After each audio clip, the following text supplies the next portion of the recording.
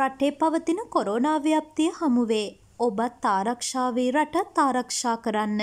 නිවැරදි සෞඛ්‍ය උපදෙස් පිළිපදින්න.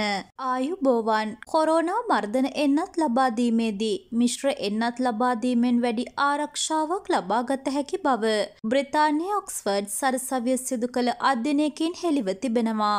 ඇස්ට්‍රසෙනිකා එනතේ පළමු මාත්‍රාව ලබාගෙන සති හතරකට පසු ෆයිස එන්නත් මාත්‍රාවක් ලබා ගැනීමෙන් එලෙස වැඩි ආරක්ෂාවක් ලබාගත හැකි බවයි. එම අධ්‍යනයෙන් හෙළි වී ඇත්තේ. එලෙස මිශ්‍ර එන්නත් මාත්‍රා ලබාගන්නා පුද්ගලයන්ගේ ප්‍රතිදේහ නිපදවීම සාමාන්‍ය එන්නත් කරණයට වඩා ඉහළ මට්ටමක පවතින බවද එම අධ්‍යනය මගින් හෙළිව ඇති බව විදෙස් මාධ්‍ය අනාවරණය කළා. තවත් මෙවැනිම පුවත් නැරඹීමට දැන්ම අපිව සබස්ක්‍රයිබ් කරන්න. අපි අලුතින්ම අප්ලෝඩ් කරන වීඩියෝස් ගැන කලින්ම දැනගන්න. බෙල් අයිකන් එකත් ක්ලික් කරන්න.